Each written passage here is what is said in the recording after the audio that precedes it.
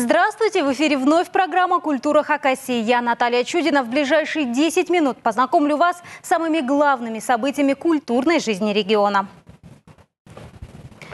Республика в очередной раз присоединилась к международной акции «Ночь музеев». Один только краеведческий музей за три часа принял чуть меньше тысячи ценителей старины искусства. Были в том числе и зарубежные гости. В этом году музейщики решили вновь удивить и придумали множество новых площадок. Детям пришлась по душе необычная этнораскраска. Юным художникам нужно разрисовать хакасское апаго. Изображение скопировано с фотографии настоящего нагрудного украшения, которое в древности могло стоить целого табуна лошадей. В оформлении использовались перламутровые пуговицы, привезенные из Китая. Обычно использовались э, природные цвета, это красный, э, зеленый, э, черный и также синий. И не использовался желтый цвет, так как считалось, что желтый цвет это символ болезни, символ недуга. В юрте экскурсовод рассказывает, как в древности хакасы принимали гостей, угощали травяным чаем и преимущественно мясными блюдами. Усталого путника нельзя было не накормить. По поверьям, жадного хозяина могли наказать духи, а гостеприимного, наоборот, отблагодарить. Этот путник остановился в юрте бедного человека.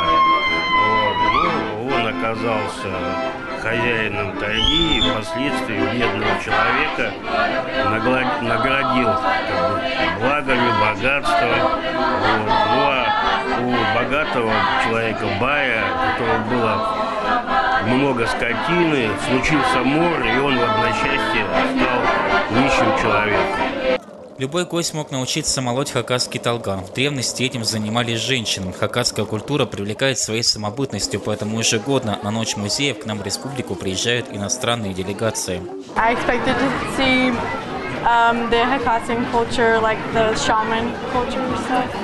Мы хотели увидеть что-то о хакасской культуре, национальный костюм. Мы хотели шамана увидеть, но шамана не увидели. Взрослые те же самые дети когда-то были, они идут за сказкой.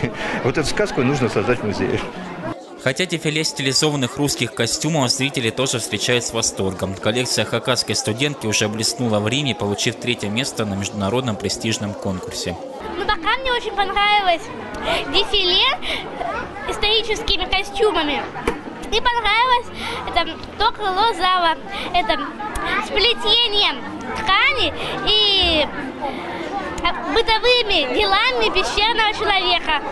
Живая музыка, необычный мастер-класс, древнее искусство. Такое жители Хакасии точно не могли проспать. Ночь музеев посетили 866 человек. Организаторы ожидают, на следующий год гостей будет еще больше. Праздник пройдет уже в новом здании музея, где есть возможность выставить экспонаты из запасников. 35 лет на сцене, более сотни спектаклей, ролей значительно больше и все в одном театре «Кукол-сказка». Это об актрисе Антонине Пичугиной. Ее бенефис стал настоящим праздником для всей труппы, а сама юбилярша буквально купалась в аплодисментах на протяжении всего вечера.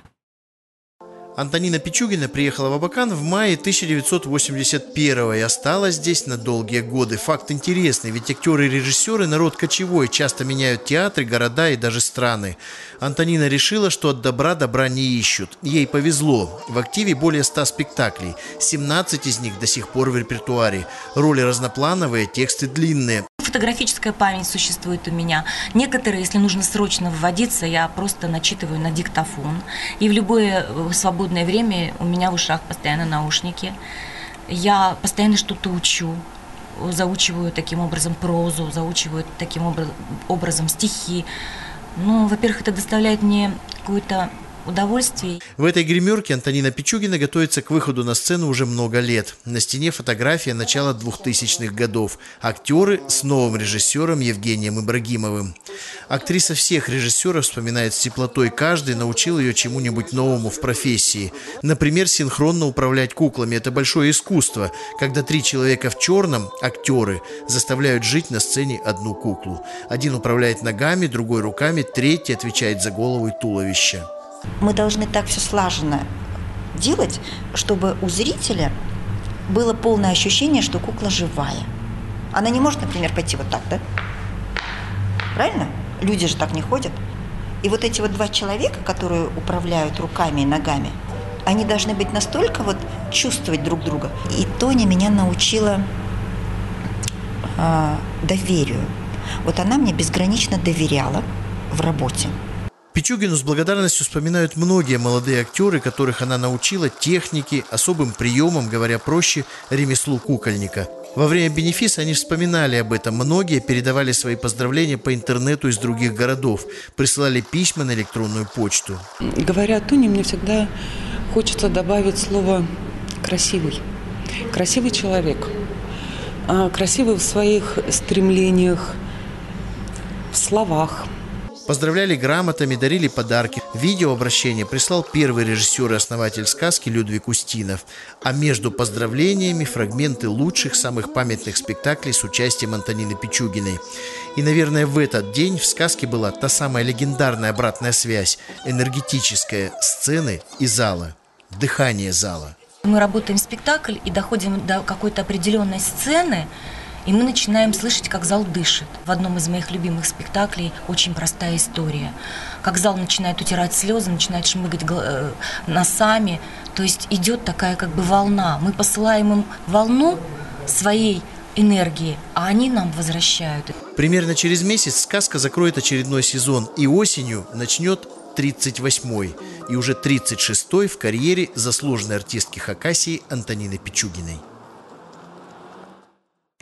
Хакасский национальный театр имени Топанова закрыл 84-й творческий сезон. Финальную точку решили поставить спектаклем молодого режиссера, студента Мараса Чебадаева. Дипломная работа оказалась настолько удачной, что постановка будет представлять нашу республику на престижном театральном фестивале. Хакасский национальный театр закрыл 84-й театральный сезон. Перед спектаклем зрители могли познакомиться с историей театра в фотографиях, увидеть самые яркие и интересные декорации репертуарных спектаклей. Но главное событие вечера – это, конечно, спектакль. Право закрыть творческий сезон получил молодой режиссер Марас Чебадаев. Его постановку зрители уже могли видеть. Премьера спектакля по мотивам рассказа английского писателя Герберта Уэллса «Страна слепых» состоялась в марте этого года.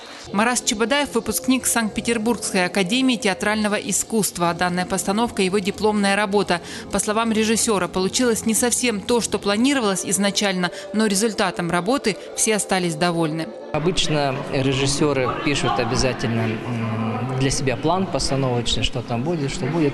Я приблизительно всегда ну, набросал это, все об этом думал. Но когда приходишь в театр, когда сталкиваешься с живыми актерами, вдруг понимаешь, ой, нет, совершенно не то я хотел делать. И вот, и так как-то спонтанно, это называется этюдно, рождается спектакль. Спектакль «Страна слепых» был реализован при финансовой поддержке Министерства культуры России. Постановка получила массу положительных отзывов среди зрителей и коллег. Это очень интересная работа. Э, в ней работает молодежь нашего театра, также аксакалы. И я думаю, что этим спектаклем он как бы вносит новую свежую струю э, в жизнь коллектива. И мы надеемся, что он поставит еще очень много интересных, э, замечательных спектаклей. И мы надеемся, что следующий, 85-й театральный сезон будет таким же удачным, плодотворным.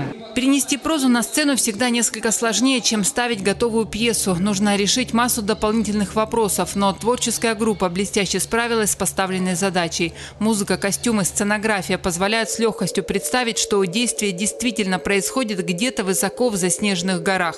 Постановка «Страна слепых» осенью этого года будет показана на престижном театральном конкурсе.